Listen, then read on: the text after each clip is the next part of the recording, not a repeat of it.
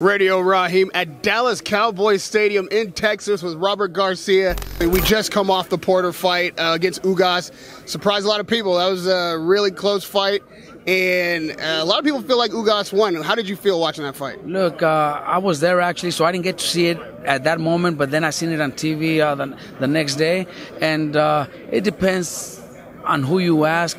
I think Porter had more movement and threw more punches, but I also see Ugas landed the better punches. I think Ugas landed the better punches, but it was less than Porter. So I think that decision could have gone either way, and, and I don't want to argue with with with uh, with the decision going to Porter because he he did throw more punches. He was a little more active, but uh, but uh, I, I like me personally. I like Ugas punches that he landed better than what Porter landed, me personally. But I don't argue the decision.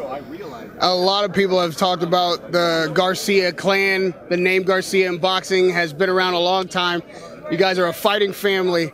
If Mikey's able to pull this off Saturday night, what's his place in the family? Does he get the big piece of chicken at Thanksgiving, or big piece of chicken, or big piece of turkey, and sit at the head of the table from now on? Look, it's going to be huge, not only for Mikey, but for my dad, myself, the whole family. It's just going to be huge. It's going to be, you know, you know, we we've We've seen the Durans, the Leonards, the Haglers, and Mikey being mentioned among those guys. It's just going to be unbelievable.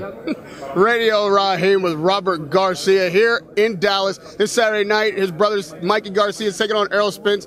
This fight, everybody's looking forward to. Thank Always thank you for the time and the thank pleasure. You. Radio Rahim with Robert Garcia.